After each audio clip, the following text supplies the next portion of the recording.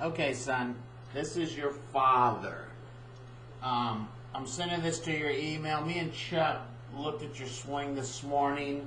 Um, we really don't want you thinking about your swing. There's not much wrong with the swing. We've got a body issue problem here. We've just got to learn to get your body working correctly. Um, as you see on the left side, we've got two parts of your body. You have your upper part of your body and you have your lower part of the body. They get disconnected as we start to go back in your swing.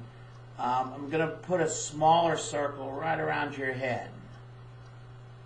Okay, it's okay for your head to turn, but I want you to watch the lateral motion you have with your head as it's as you start to go back. You're getting great extension, um, but in order to keep your body from falling over, because your upper body is going to the right, your lower body compensates and goes to the left, and that's what causes that straightening of the right leg. Now look how you're you're only at hip high and your head has already moved maybe seven to eight inches. Now as we go back farther, it keeps going, keeps going, keeps going. Now look how your upper body is gone. Great shoulder turn, but we need that head right there. But you can see this hip right here has gone the other way.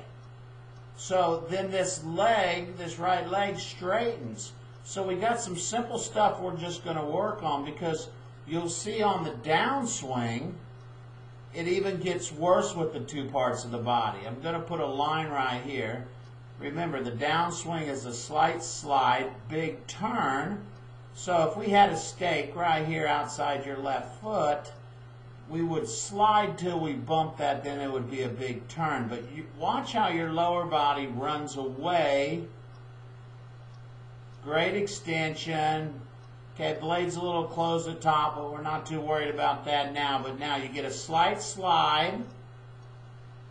Then it just keeps sliding, sliding, sliding, sliding, sliding, sliding, sliding.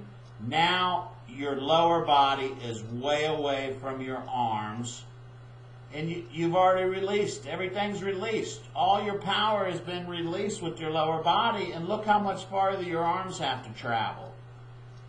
So what happens here is I'm going to draw a line.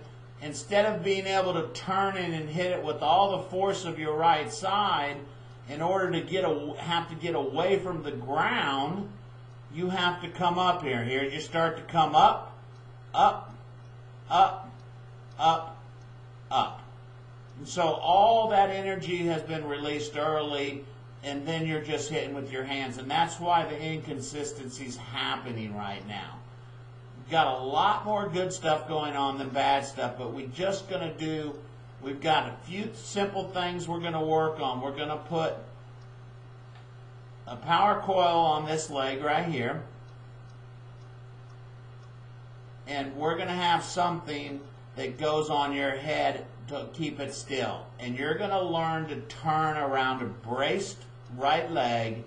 And then you're going to learn to fire this whole right side into the ball and turn through the ball this way with the right side as that head stays nice and level back and through and inside the circle. You can see some good stuff over here on the right side, just for you can see it as you take it back. We want to try to get our tempo where we're not taking it back so slow. We would like to get more of this speed. Quit trying to be too perfect, but you'll see how you overcock the wrist early.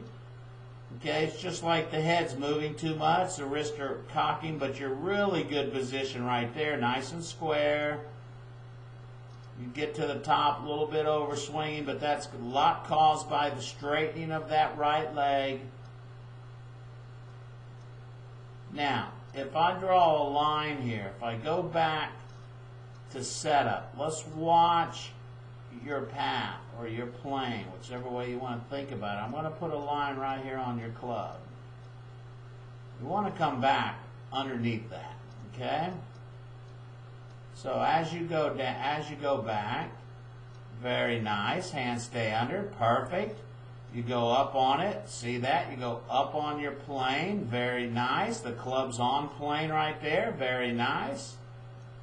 Now, as you get to the top, a little overswinging. The blade's a little closed. That's why you were hooking it that day. Now, the first move, because we slide, your club gets right back on plane. Pretty good. Look at that. Beautiful. But you're already released. The energy is already to the left side. The hips are way past the ball, and you've got nothing left to do but hit with your hands. And that's where the inconsistency comes. And you can't turn this right side through and deliver the blow with this right side here. So just, you know, Chuck had a great thought. If we can just get you to learn to turn back correctly, we really think that all the other stuff's going to fall in place for you. You're really not going to have to think about it too much. Um, you're going to be able to uh, load in the ball there. You're nice and under, but you can see how everything comes up. The body and the hands come up, even though the club's in the right position. But now the hands are way above where they should be because and look how far away from the body they are. And then the club goes. There's good down the line, but you can see how the how you flip right there instead of letting the body turn through. So some good stuff there, simple stuff. Don't worry too much about it. We really need to work on this left side, the right knee, keeping the head centered, um, and learn to turn into that brace where you can you don't have to get out in front of it so far where your lower half of your body is out racing your upper half. Okay, I'll see you when you get here from after school, but I just wanted to send this to you so you could look at it. Take care. Love you.